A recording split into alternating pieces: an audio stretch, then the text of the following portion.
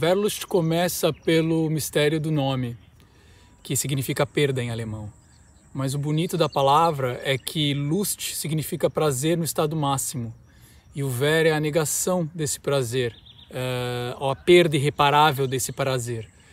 E o que constitui em uma outra ideia da palavra perda, que não é simplesmente é, negativa, é, é sobre transformação sobre toda a perda que implica se transformar e se reinventar.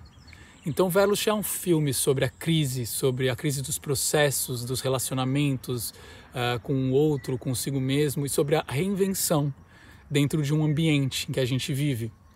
É, ele é uma parceria com Ismael Canepelli, é, roteirista e também escritor do livro, que faz diálogo com o filme, assim como a gente fez nos famosos Doentes da Morte.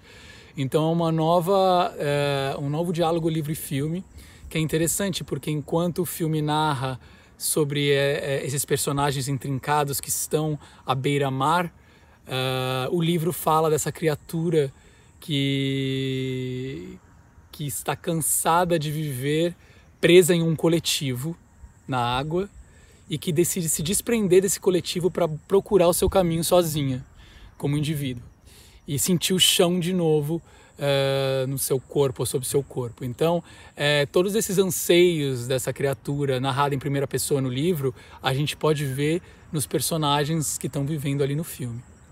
E começando com o encontro do Ismael, uh, eu digo que o filme foi foi sendo construído a partir dos encontros também. Primeiro com André Beltrão, que nós sempre vimos ela como essa poderosa empresária, esse centro do sistema solar, diante de tantos artistas que vivem ao redor e essa obsessão pelo controle. E, e, e o que seria e o maior medo dela que é a perda que ela até diz. Então o que seria tudo isso uh, uh, para ela dentro desse universo esse microcosmo que ela habita? É, outro encontro importante foi a Marina Lima a cantora e compositora que eu já eu e Ismael já admirávamos muito a Marina e foi bacana porque ela emprestou a sua vida, os discos e, e coisas da realidade mesmo, para a gente poder brincar de ficção.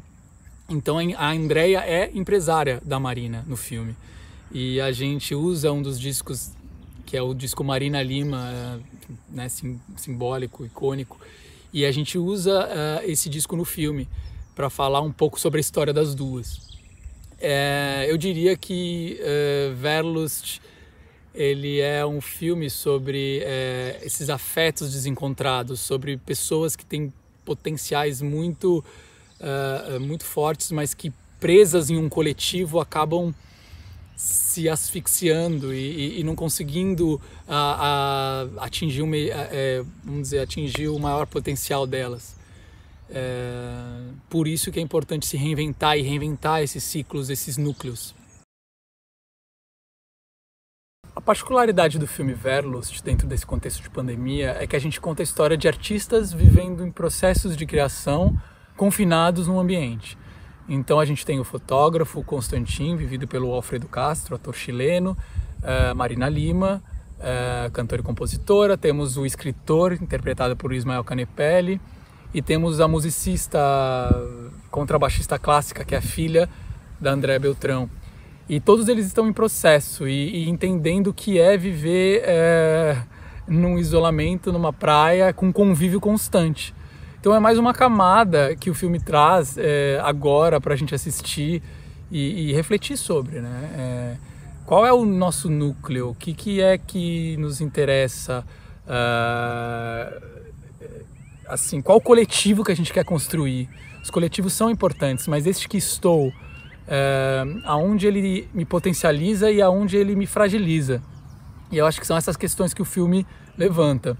Ele ia ser lançado em maio, né, no planejamento do início do ano, mas a gente adiou os planos. Então é interessante é, mostrar agora nesse contexto em que a gente está vivendo essa é, tentativa, essa transformação de linguagens, né, tentativas de novas linguagens, de comunicação, é, vendo os absurdos do mundo, do país acontecendo. Então, é, ele lança uma lupa no universo desses personagens, desses artistas isolados.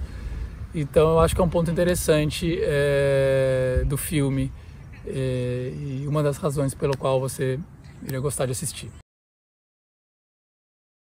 O que eu diria para o público que estiver procurando ver um filme brasileiro na mostra é assista mais do que um filme brasileiro, não veja só um, porque a gente está num momento em que existem múltiplas vozes, é, múltiplas narrativas, e eu acho que a seleção é diversa na mostra. É interessante você ver no mosaico todas essas vozes falando juntas e, e, e dialogar uh, com, com elas e se identificar com algumas e questionar outras. Então eu acho que isso que é interessante da mostra, né? quando você pode ver é, essas diferentes facetas e como elas estão conversando umas com as outras.